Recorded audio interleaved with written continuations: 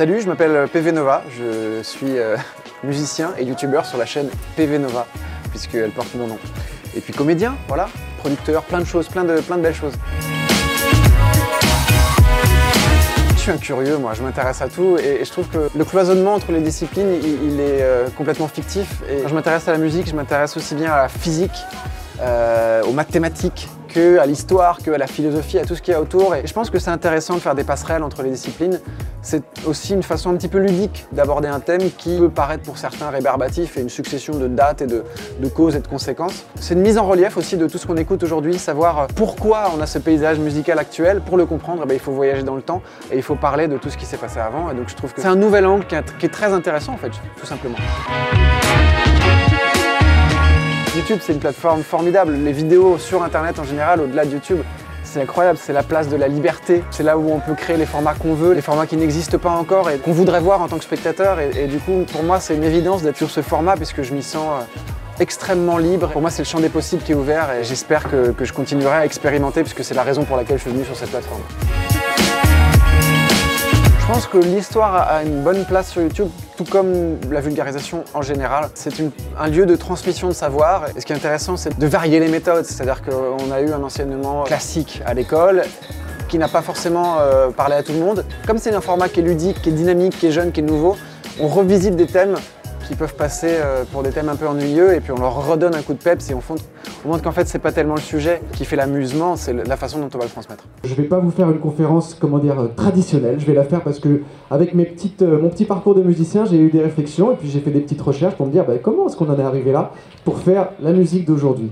Et souvent quand, on, quand on parle de la diversité musicale à travers le monde, à travers les âges, on invoque des raisons culturelles. Mais moi je suis là pour parler des raisons technologiques. C'est pour ça que le titre est un peu pompeux, parce que ça parle d'outils de la musique. Les outils, bon, les technologies, c'est des grands mots, mais en gros, qu'est-ce que ça désigne? Ça désigne les instruments, les techniques d'enregistrement et les techniques de diffusion. Il est évident que ces instruments, ces techniques influencent le travail des compositeurs. Pourquoi? Parce que quand on a un quatuor à cordes sous la main, alors c'est magique, vous allez voir, il va se passer plein de trucs où je dis quelque chose et hop, on l'entend. Quand on a un quatuor à cordes sous, sous la main, on ne compose pas la même musique que lorsqu'on a une batucada. Ça paraît évident dit comme ça. Et c'est pourtant... Bon, ils font du bruit quand même les Brésiliens. C'est pourtant fondamental dans ce que je vais vous expliquer. Je fais très peu de festivals, euh, je fais très peu de conventions, je ne suis pas forcément à l'aise dans beaucoup de milieux, mais celle-ci m'intriguait par son décor, par les invités qui sont là. Il se trouve que je connais euh, Nota Bene, un des organisateurs, depuis très longtemps et qu'on a sympathisé. Et du coup, euh, ça faisait du sens pour moi de venir ici. Et puis, je trouve ça toujours intéressant de sortir de sa zone de confort. Ne me sentant pas une légitimité immense en tant qu'historien de la musique, et eh ben, ça me faisait un, bon coup de pied aux fesses, on va dire, pour se, pour se motiver et sortir de chez soi. Quoi. Je viens euh, aux historiques pour parler euh, d'histoire forcément et de musique forcément parce que je suis musicien. Et je vais faire euh, une petite retranscription de l'évolution de, la musique en lien avec l'évolution des outils à disposition du musicien, donc les outils étant les instruments évidemment mais aussi les moyens d'enregistrement et diffusion de la musique, voir comment tout ça s'est un petit peu entremêlé et comment l'un a impacté l'autre. J'appréhende un peu ma conférence, j'ai le syndrome de l'escroc, je me sens pas hyper légitime, mais je trouve ça bien parce que c'est motivant de se mettre en danger. Et ce qui me fait aussi peur, c'est ma participation à un concert euh, dans le cadre du festival, puisque je serai euh, seul sur scène en piano-voix, et du coup, euh, je vais chanter mes chansons, donc c'est une mise à nu, et c'est toujours... mais c'est bien, c'est ce frisson qu'on veut quand on est sur scène, c'est être sur le fil, sinon on suit que tout est facile. Je vais chanter des chansons de mes deux derniers albums en date, euh, qui sont des chansons euh, plutôt tristes, parce que souvent les morceaux que je compose au piano sont tristes. Euh, une chanson qui s'appelle L'orage, une autre qui s'appelle Le rivage, qui est une réponse à cette chanson, et une chanson un petit peu plus joyeuse qui s'appelle Windy Gold. Je compose à différents instruments, je suis multi-instrumentiste, et souvent mes morceaux les plus péchus, je les fais à la guitare, et les plus tristes au piano, bah, je suis venu avec un piano, donc ça va être la petite larmiche quoi. Je me revendique d'une musique populaire. Je trouve que pour moi, c'est pas un, gros mot de faire de la pop.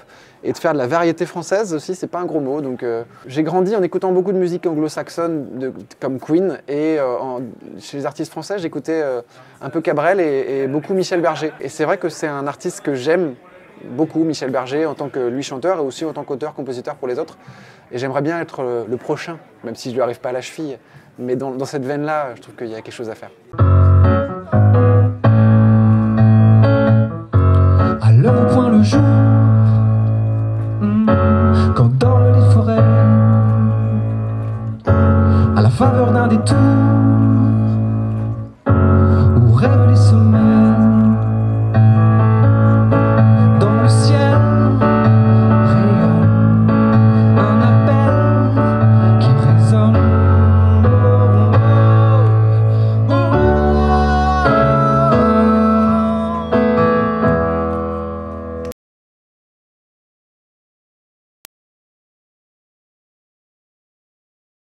Et, il fait un truc que je ne sais pas du tout faire, c'est il fait de, il growl comme on dit dans le métal, il a une grosse voix rock et ça s'entend tout de suite quand on l'entend parler dans ses vidéos, on entend qu'il a une grosse voix, bah il va, il va le montrer à tout le monde demain sur scène et j'ai hâte.